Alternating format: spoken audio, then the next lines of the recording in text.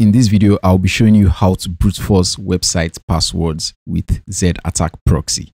Let's get right into this. The website we'll be using for this test is Autoro Mutual. This is a demo website. This is not a real web application.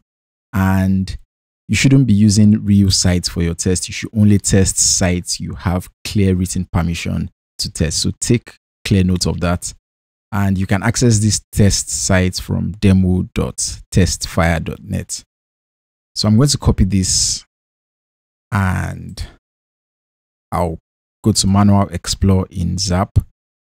If you don't know how to install Zap, I'll leave a link in the description below and let's launch our browser here.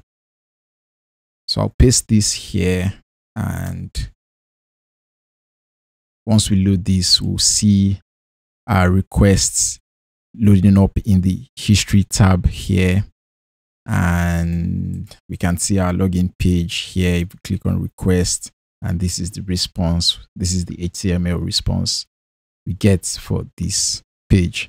So i already know a user for this account. I know a user with the username admin exists but i don't know the password. So if you type in admin and 12345 for example as the password and click login we get this error here, login field. And if we go to our history tab in Zap, we can trace that here by the request timestamp. And we can see that particular request here. So if you don't want to trace things in the history tab, you can turn on breakpoints in Zap and just make the request again. So I'll try admin one, two, three, four, five, login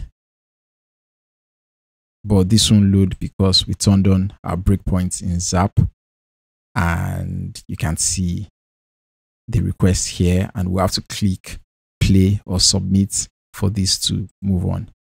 So that can be an alternate way for you to track your requests step by step instead of tracing them in the history. So we have our request here. Let's go to request tab again and I'll just click, double click on the password field. That's the value of the password field and right click on this and click on false. So a brute force attack is a type of attack where you try to guess the password for a user by trying out multiple passwords. They can be um, sequential passwords or they can be a list of known passwords in a particular file. So that type of brute force attack is called a dictionary attack where you use a list of known passwords. So that's what we're going to be doing. So we'll make sure we have this highlighted. Then I'll click on payloads and I'm going to add a payload. So on that type of payload, you want to use file forzas. So Zap comes loaded with various word lists you can use for different things. And I'll scroll down here and choose the word list for user and password. I'm going to go to passwords and I'll click John, this first one. So we'll use this simple word list to test things out. So I'll add this and click on OK. So you have more options here, but we'll focus on the basic options for now.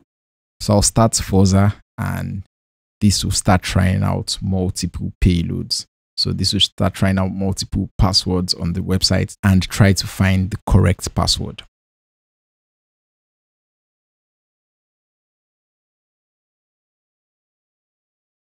So our forzing is complete and how do we know our password? So there are different ways you can know your password with Zap.